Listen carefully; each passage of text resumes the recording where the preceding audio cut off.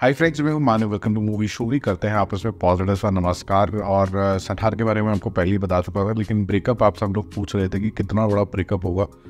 Ninety three crore की जगह पे ninety five crore rupees net एक तो इसने कमाए ऑल लैंग्वेजेस के अंदर अराउंड नाइन्टी सिक्स भी हो सकता है। और uh, ये जो कलेक्शन है ये कैसे डिस्ट्रीब्यूट होते हैं उसके बारे में तो हम बात करेंगे। और साथ ही साथ के अंदर क्या कल भी इस तरीके की चीज़ कंटिन्यू रहने वाली कि नहीं रहने वाली उसके बारे में भी बात कर लेते हैं बड़ा फटाफट से। तो Salaar cease fire part one एक सुपर डुपर ब्लॉकबस्टर ओपनिंग लेती है, पहले तो।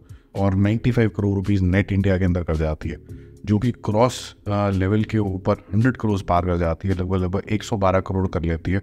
और उसके बाद फिर और लंबी छलांग मारती है और वर्ल्ड वाइड लेवल पे 160 करोड़ रुपए के आसपास कर लेती है। एपी तेलंगाना अगेंस्ट में सिर्फ़ इसी ब्रैकेट के अंदर सत्तर करोड़ रुपए का बिज़नेस करती है। पर इस आदमी की पावर उस क्षेत्र के अंदर, उस रीजन के अंदर मतलब अनपैरल्ड है।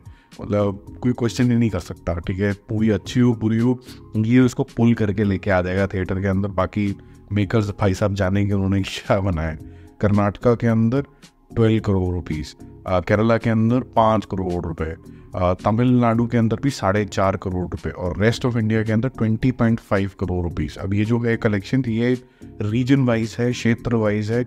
इसे अगर टोटल करेंगे 112 करोड़ रुपए आएगा क्रॉस और 160 करोड़ रुपए आएगा वर्ल्ड वाइड कलेक्शन के रूप के अंदर। अब हिंदी का कलेक्शन इसके अंदर क्या है? लैंग्वेज वाइज वो आपको मिलेगा अर्ली मॉर्निंग वो आपके साथ अलग से शेयर करेंगे। बट बहुत ही फैंटास्टिक है। कल सुबह एक अर्ली मॉर्निंग में आपको एस्टिमेट दे दूँगा कि पूरे दिन का ब्यौरा क्या लग रहा है। uh, क्या इसके अंदर ड्रॉप आएगा क्या ये जो मिक्स रिएक्शन आया है सलार को लेके रिव्यूज़ जो हैं वो ढाई स्टार टाइप के ज़्यादातर हैं एवरेज के अंदर। क्या तेलंगाना शहर ये भी तेलंगाना इतना बड़ा होगा कि उसको उसकी कोई फ़िक्र ही नहीं होगी और वो अचानक से 500-600 करोड़ कर लेगा और इसको एक सेफ़ जोन में लेके चला जाएगा।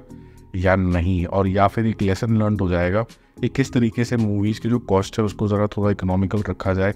अगर आपको प्रभास को मूवी के अंदर यूज़ करना है, अब ये देखिए, अगर प्रभास के अंदर ऐसा कुछ टेम्पलेट हो जाए कि सौ करोड़ रुपये की फ़ीस की जगह पे अगर वो बीस पच्चीस करोड़ रुपये की फ़ीस ले और बाकी का जितना भी है प्रॉफिट शेयर ले तो फिर वो एक नॉर्मल मूवी के अंदर भी आ सकता है। आपको ज़रूरी नहीं कि हर बारी बजट तीन सौ, चार सौ करोड़ रुपये करने।